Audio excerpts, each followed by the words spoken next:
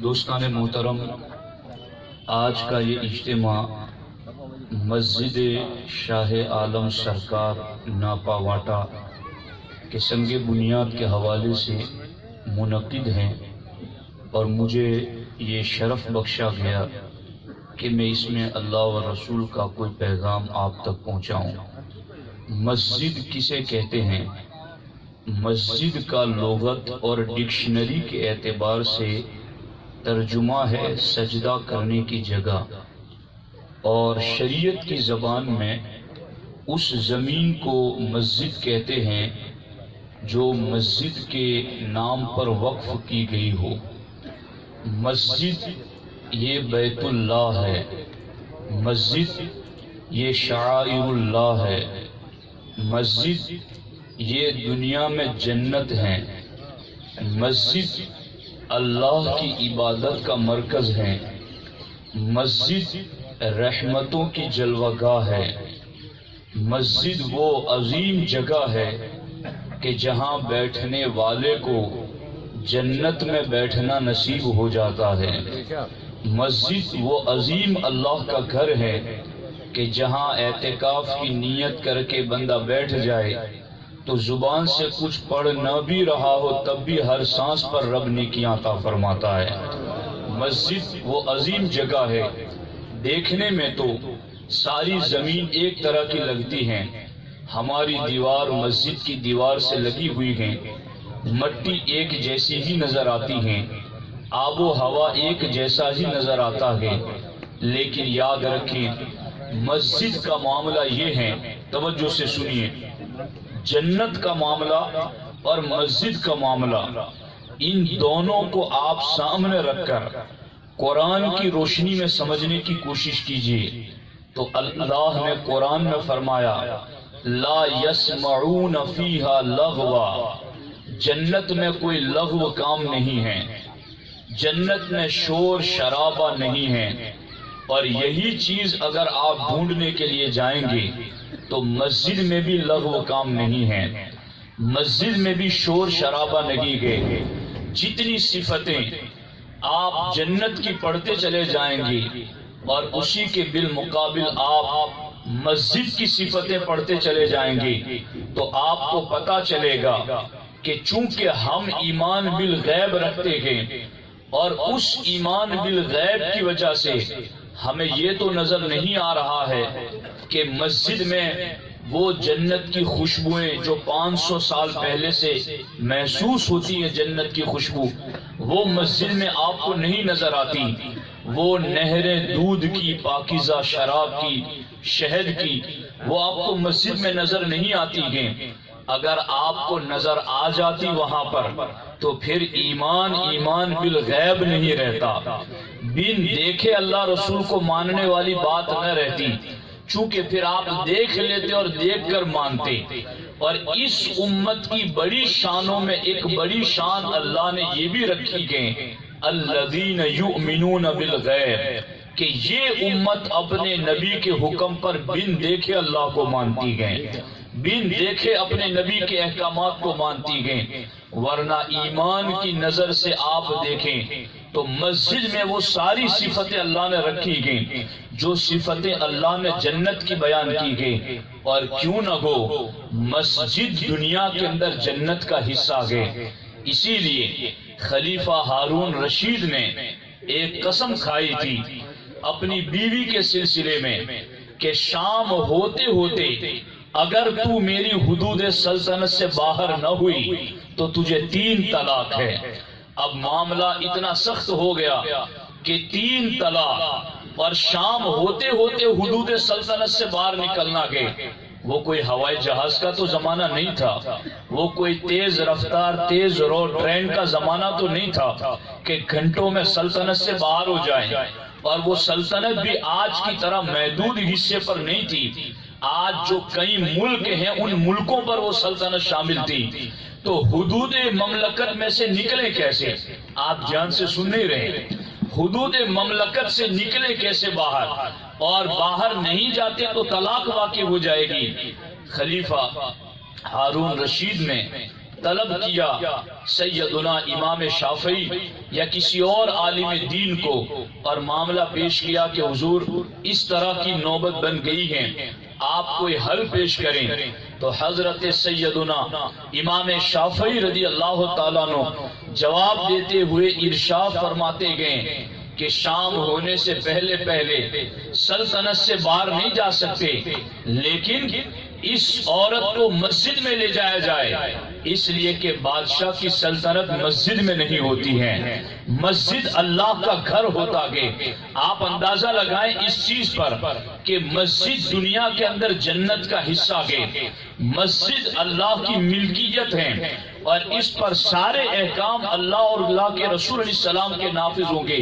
अब ऐसी मस्जिद अगर कोई बंदा तामीर करता गे तो हमारे नबी सलाम इर्शाद फरमाते गए मम बना लिल्लाहि मस्जिदन लहु बैतन फिल जन्ना। जो ज़मीन पर अल्लाह का घर बनाता गए अल्लाह जन्नत में उसे महल अता फरमाता गए और फिर ये चीज़ नहीं है कि चलो किसी ने पूरे, पूरी मस्जिद बनाई तो उसको मिलेगा। नहीं नहीं। हमारे नबी सलाम इर्शाद फरमाते गए अगर किसी ने चिड़िया के घोंसले के बराबर भी मस्जिद बनाई हालाँकि चिड़िए के घोंसले के बराबर मस्जिद नहीं होती है। लेकिन हमारे नबी सलाम इसकी इंतहा को बता रखे गए कि अगर इतनी छोटी मस्जिद, यानी एक ईंट भी अगर किसी ने मस्जिद में लगा दी तो ऐसा नहीं है कि जिसने पूरी मस्जिद बनाई, उसको तो महल मिलेगा और जिसने ईंट लगाई, जिसने सिर्फ़ एक दो रुपये दे दिए, उसको कुछ नहीं मिलेगा। सरकार आला हज़रत, इमाम अहले सुन्नत से पूछा गया तो आप इरशाद फरमाते गए कि जिसने मस्जिद में एक ईंट भी लगाई, अल्लाह उसे भी जन्नत में महल अता फरमाएगा। आप देख लें कि ये किस कदर अजर सवाब की बात है। और फिर मस्जिद की शानी जुदा गए। ये इसको ध्यान से सुन लें। हमारे नबी अली सलाम के दो सफ़र सबसे अजीम हैं। एक सफ़र सफ़र महराज है। और दूसरा सफ़र सफ़र हिजरत है। और हमारे नबी ने फरमाया कि मेरे चार वज़ीर हैं और वो दो आसमानों पर, दो ज़मीन पर सरकार फरमाते, मेरे आसमान वाले वजीरों में से एक का नाम जिबरील, दूसरे का नाम मिकाइल। और मेरे ज़मीन वाले वजीरों में से एक का नाम अबू बकर सिद्दीक, दूसरे का नाम उमर फारूक। ये मेरे दो वज़ीर हैं। और सरकार जब पहले सफ़र, आसमानी सफ़र पर चले तो उस आसमानी दुनिया के पहले वज़ीर को साथ में लिया। और जमीनी सफ़र सफ़र हिजरत पर चले तो ज़मीन वाले वज़ीर अबू बकर सिद्दीक को साथ लिया। पहला सफ़र जो था हमारे नबी का, वो कयामत तक के सजदा करने वालों के लिए। एक अहम तरीन सफ़र था।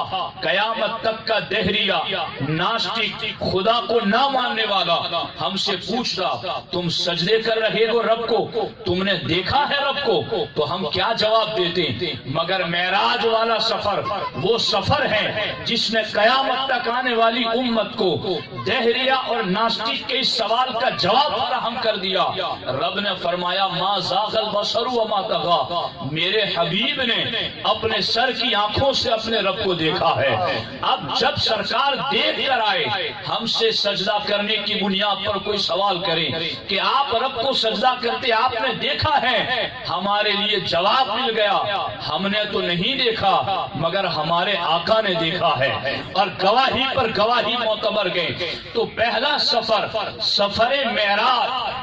उस सफ़र पर जब सरकार निकले तो वो कितना बड़ा सफ़र? ओलमा फरमाते हैं कि सरकार को जो बड़े मोजेजात दिए गए, उनमें सबसे बड़े दो मोजेजे। पहला सबसे बड़ा मोजेजा कुरान मजीद, और दूसरा सबसे बड़ा मोजेजा सफ़र महराज इस सफ़र महराज का ज़िक्र अल्लाह ने कुरान की आयत में किया तो आधी आयत में अल्लाह ने दो मरतबा मस्जिद का ज़िक्र फरमाया। मिनल मस्जिद हरामी इनल मस्जिद अक्सा, के इस सफ़र की शुरुआत मस्जिद हराम से होती गई और उसकी पहली मंजिल मस्जिद अक्सा है, जिस सफ़र की बुलंदी का आलम ये गए कि सरकार लामका तक पहुँचे, ऐसे सफ़र का रब ज़िक्र भी करता है तो आयत में दो दो मस्जिदों का ज़िक्र फरमाता है, ताकि मुसलमानों को पता चल जाए कि इंसानियत की बुलंदी का रास्ता मस्जिद को छोड़कर नहीं गए। इंसानियत बुलंद होगी तो मस्जिद के ज़रिया से होगी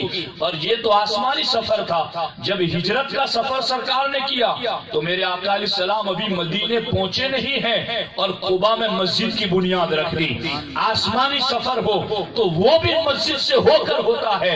जमीनी सफ़र मस्जिद नब, मदीनतुल मुनवरा की तरफ़, वो भी मस्जिद से होकर होता गए और की खसूसी तवज्जो के साथ, ये बात मैं आपको अर्ज़ करना चाहता हूँ दुनिया के तमाम लादीनी लोगों को अल्लाह के एक होने का सबूत देने के लिए आपको सफ़र महराज पढ़ना पड़ेगा और दुनिया के तमाम इंसानों को इंसानियत का पैगाम देने के लिए आपको मदीनतुल मुनवरा की सरकार की ज़िंदगी बतानी पड़ेगी। और ये दोनों ज़िंदगी महराज वाली या हिजरत के बाद वाली बताने चलेंगे। तो इन दोनों सफ़र में अल्लाह ने मस्जिद का ज़िक्र रखा गया इससे पता चला, इंसानियत के लिए अमन का पैगाम भी मस्जिद से होके गुजरता है और इंसानियत की बुलंदी का मामला भी मस्जिद से होकर गुजरता है।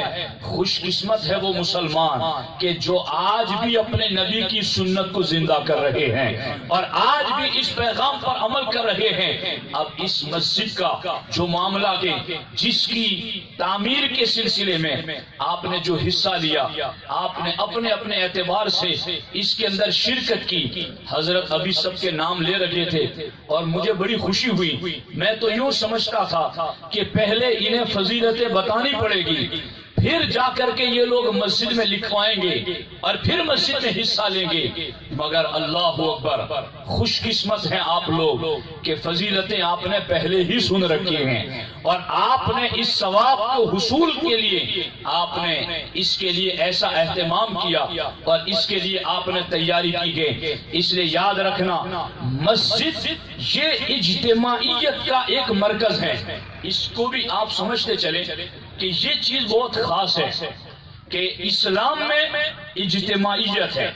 यानी इस्लाम यूनिटी और इतिहाद की तरफ़ दावत देता है। पूरे इस्लाम का एक खुलासा ये है कि इंसान चूँकि मदनी तबाह है इंसान मिलजुल कर मुआशरे में रहने वाला शख्स है। इंसान जानवरों की तरह जंगलों में तनहा तना नहीं रहता, बल्कि ये मुआशरे में रहता है। एक इंसान होता है, उसके तरफ़ हज़ारों रिश्ते होते हैं। कोई बाप है, कोई माँ है, कोई चचा है, कोई फूफा है, और चारों तरफ़ उसके रिश्ते जुड़े हुए होते हैं। तो इंसान एक एक इज्तमाहीत चाहता है। और इस्लाम ने ऐसा निज़ाम रखा है, जिस निज़ाम की बुनियाद पर इंसान एक दूसरे के करीब रहता है।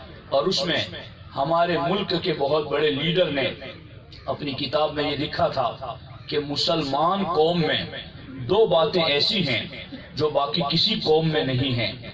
और वो दो बातें ये हैं कि एक तो दूसरी कौमों को अगर किसी जगह इकट्ठा होना पड़े तो उन्हें तो बहुत जतन करने पड़ते हैं, मेहनतें करनी पड़ती हैं, तब जा करके लोग आए और उसमें भी कोई नाराज़ होकर ना आए, कोई आए। लेकिन मुस्लिम कौम के अंदर एक ऐसी बात जो किसी कौम में नहीं है, वो ये है कि मुस्लिम मुस्लिम कौम दिन में पाँच मरतबा अल्लाह अकबर की आवाज़ पर एक जगह जमा हो जाती है। इनको कोई प्लान करना हो, इनको कोई मंसूबा बनाना हो, इनको कोई मशवरा करना हो, इनको तरक्की के लिए आपस में कोई बात करनी हो तो इन्हें कार्ड छापने की दावत देने की ज़रूरत नहीं। मस्जिद में अजान की आवाज़ आती है, मुसलमान मस्जिद में पहुँच जाता है। तो ये चीज़ दुनिया की किसी और कौम में नहीं है। और दूसरी चीज़ जो दुनिया की किसी और कौम में नहीं है, वो ये है कि मुस्लिम कौम में उनके बुज़ुर्गों की बहादुरी के, नफ्स को मारने के ऐसे वाकयात मौजूद हैं कि कोई मुसलमान गफलत की चादर ओढ़कर सो भी जाए और उसके सामने उन बुज़ुर्गों के वाकया पढ़कर सुना दिए जाएँ। तो गाफिल से गाफिल मुसलमान का दिल भी जाग जाता है। उसका दिल भी बेदार हो जाता है। तो ये दो चीज़ें जो कौम मुस्लिम के पास हैं, वो किसी और कौम के पास नहीं गए। याद रखना, मस्जिद के आबाद करने पर बड़ा अजर सवाब है और इसके अंदर हिस्सा लेने पर बहुत ज़्यादा बशारतें हैं। लेकिन बात इसी पर बंद नहीं होती। मस्जिद की आबादी सिर्फ़ कालीन से, संगे मरमर से, कुमकुमों से और सिर्फ़ सजाने धजाने से नहीं है, बल्कि मस्जिद की हकीकी आबादी मोमिन की पेशानी से है। मस्जिद की हकीकी आबादी मोमिन के सजदों से है। मोमिन जहाँ सजदा करता है तो फिर मस्जिद आबाद होती है। और इसीलिए कुरान में अल्लाह ने फरमाया इन नमा यामुर मसाजिद अल्लाह मन आमन बिल्लामिल आखिर व अकाम के मस्जिदों को वही आबाद करते हैं, जो अल्लाह पर, यौम आखिरत पर ईमान रखते हैं। वह अकाम सदा और नमाज़ कायम रखते हैं। तो याद रखो, मस्जिद की आबादी का मामला सिर्फ़ बनाने तक नहीं है, बल्कि बनाने के बाद सजदों से है, बनाने के बाद नमाज़ कायम करने से है। इसलिए जिस मोहब्बत के साथ आप मस्जिद की तामीर के लिए आए हैं फिर आगे चल करके उसी मोहब्बत के साथ मस्जिद को सजदों से भी आबाद करना है। हमारे नबी सलाम ने तो यहाँ तक फरमाया कि मेरा दिल ये चाहता है कि मैं लकड़ियाँ जमा करने का हुक्म दूँ और किसी को अजान के साथ नमाज़ पढ़ाने का हुक्म दूँ और जब वो नमाज़ पढ़ाए तो मैं जो लोग मस्जिद नहीं आते, उनके घरों में जाकर के आग लगा दूँ। क्यों, वो मस्जिद में क्यों नहीं आते हैं? और हमारे नबी अली सलाम ने इर्शाद फरमाया कि मस्जिद में जमात के साथ पड़ी हुई नमाज़, बाकी जगहों पर पड़ी हुई 25 नमाजों से ज़्यादा अजर सवाब रखती हैं। उसमें अजर सवाब इतना ज़्यादा है, इसलिए मस्जिद को आबाद करने में आप ज़्यादा से ज़्यादा हिस्सा भी लें। और यहाँ मुझे एक वाक्य याद आ गया, वो मैं अर्ज़ करके गुफ्तु खत्म करता हूँ। ध्यान से सुन लें आप। तवज्जो से सुनिए। रिवायतों में ये मैंने पढ़ा है कि एक बादशाह ने मस्जिद की ये सारी फजीलत पढ़ रखी थी और इस फजीलत की वजह से उसने सोचा कि ये पूरी मस्जिद मैं ही बनाऊँगा और इस मस्जिद में किसी की एक ईंट भी न लगे, किसी का कोई ताउल नहीं, पूरी मस्जिद मैं बनाऊ तो जन्नत में मुझे पूरा महल मिल जाए। इस नीयत से उसने मना कर दिया कि कोई इस मस्जिद में हिस्सा ना ले। अब एक मजदूर था। उसे बहुत शौक था कि अल्लाह का घर आबाद करने में कुछ हिस्सा शामिल करूँ। मगर बादशाह के कारिंदे चारों तरफ़ लगे हुए थे और वो किसी को कोई चीज़ मटेरियल मस्जिद में पहुँचाने नहीं देते थे। अब ये बंदा लकड़हारा, जंगल से लकड़ियाँ काटता था। इसने एक तरकीब बनाई अपनी चीज़ मस्जिद तक पहुँचाने के लिए। लकड़ियों के दरमियान उसने एक ईंट रख दी। और उसके बाद वो मस्जिद के करीब जहाँ ईंटें पड़ी हुई थी, वहाँ आकर जानबूझकर उसने ठोकर खाई और अपना सर पर जो गट्ठर था वो ज़मीन पर गिरा दिया। और उसके बाद जब वो उसको संभालने लगा तो उसमें जो ईंट थी वो उसने सरका दी वहाँ पर। अब वो ईंट उस ईंटों में शामिल हो गई। ध्यान से सुनना, एक ईंट वाला, कोई महरूम न रहे। एक ईंट उसने शामिल कर दी उसमें। अब मामला ये हो गया कि रात को बादशाह ने ख्वाब देखा तो उसको यूँ नज़र आया कि जन्नत में उसका भी महल है और साथ में उस लकड़हारे का भी मस्जिद बनाने की वजह से जन्नत में एक महल तामीर हो चुका है। उसने देखा तो ताजुब करने लगा कि इसका महल कैसे बन चुका है। सुबह इसको बुलाया तो बुलाकर पूछा तो उसने बताया कि मैंने यूँ इस तरकीब से अपनी एक ईट मस्जिद में शामिल कर दी थी। तो बादशाह ने कहा कि यहाँ एक ईट शामिल करने वाले को रब महल देता है तो फिर मैं महरूम क्यों रखू अपनी रियाया को? आओ तुम सब के सब इस हिस्से में शामिल हो जाओ। अल्लाह तुम्हें भी महल अता फरमाएगा। तो ये बहुत बड़े अजर सवाब का काज है। इसलिए कोशिश कीजिए इसमें आगे बढ़िए, इसमें ताउन कीजिए और अपनी नेक और हलाल कमाई का हिस्सा इस मस्जिद के आबाद करने में ज़रूर लगाएँ। अल्लाह करीम की बारगाह में दुआ है रब जलाल इस मस्जिद को जल्द से जल्द आबाद फरमाए। और जो भी इसमें जिन्होंने ताउन किया या करेंगे, अल्लाह ताला सबको दोनों जहान में बेहतर बदला अता फरमाए। असलकम वरहमल वरहमतुल्लाहि व बरकातहू।